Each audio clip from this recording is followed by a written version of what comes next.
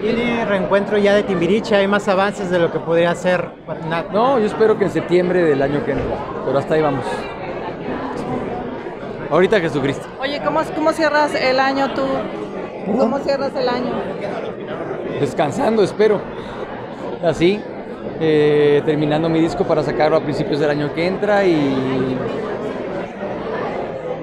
me hace falta descansar. Ya, ya te, ya.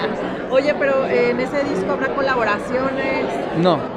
No, no, no, es, es un disco que llevo trabajando con Paco Huidobro desde hace ya dos años y estamos a nada, estamos a mezclas. Yo juré que, que salía en septiembre, pero pues nació Jesucristo. ¿Fusionarás ritmos o seguirás con la línea que siempre Pues es, es algo que va a sorprender porque creo que es Benny, pero con un sonido, con otro, con otro vestido, con otro vestuario más electrónico, pero no dejan de ser letras profundas, románticas. Hoy hablabas justo que te falta descansar. De alguna manera eres profesional y estás cumpliendo con tu agenda, pero sí te estás cuidando para la- que la salud te No, dé no hay manera de, de hacer ese proye- este proyecto si, no, si estás echando desmadre. La Celina me metió al gimnasio, este, ¿sabes? Está ahí con una nutrióloga. eh, estoy, eso, cuidándome lo más posible, ¿no? En todos los sentidos. Y la verdad es que quedándome callado lo más posible.